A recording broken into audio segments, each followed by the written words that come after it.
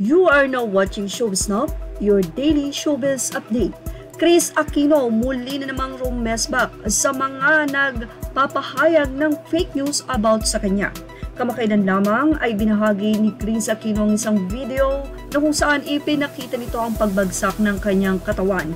Dahil nga dito sa mutsaring fake news na di umano ay pumanaw, na di umano siya ay nasa ganitong ospital, nasa US, kaya naman narito ang naging pahayag ni Chris Aquino. Hashtag Boston20 is my closest cousin and apart from my ate, the one who knows all my life's pain and secret, the one aware of what my plans are and what my real physical conditions is because she'll be the one I know who shall be looking after my two sons should anything happen to me. It's been disturbing that since Friday, so many have been spreading fake news about me either in St. Luke's BGC or the States, but always with the same theme that I'm in the ICU and in critical condition, none of them is true. Ayaw akong tigilan ng hashtag fake news and parang sobrang excited yung mga trolls na within one year both Noy and me would pass away.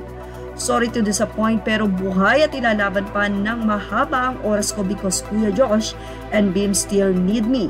To all my real friends who have gone out of their way to reach out, send me food, fruit, flowers, balloons, and just so much na nahihiya na ako because they want to make me feel their love and affection. You have my lifelong loyalty and gratitude. At sa huli, sinabi ni Chris na I have a lot more to say. Perfect timing because birthday ng mom tomorrow, January 25. My nurse has been signal me time for my meds, time for my shots, but with Cardia flare now and lights out soon, good night but definitely it's not yet goodbye. Yan nga ang panigurado ni Chris Aquino sa mga taong di umano ay nais na siyang mawala sa mundo. Pangako ni Chris, mahaba pa ang buhay niya at ilalaban ko siya. Tila tinawanan nga lang ni Chris ang mga fake news na naglalabasa na ngayon nga ay nagsalita na. Welcome kailan lamang ay muling nagtrending si Chris sa social media nang ito ay magkomento sa naging post ni Manay Lolit Solis sa di umano ay pagbabalikan nila ng kanyang ex na si Mel Sarmiento.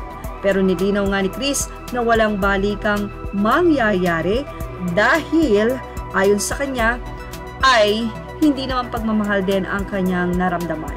Meron na rin din siyang kakaunting respeto na natitira kay Mel Sarmiento. Kahit ganoon pa man, may mga tao pa rin namang naniniwala na minahal ni Mel si Chris Aquino. Yan ang ating Showbiz Love Update. Images are all credit to the rightful owners and thank you for watching Showbiz Love.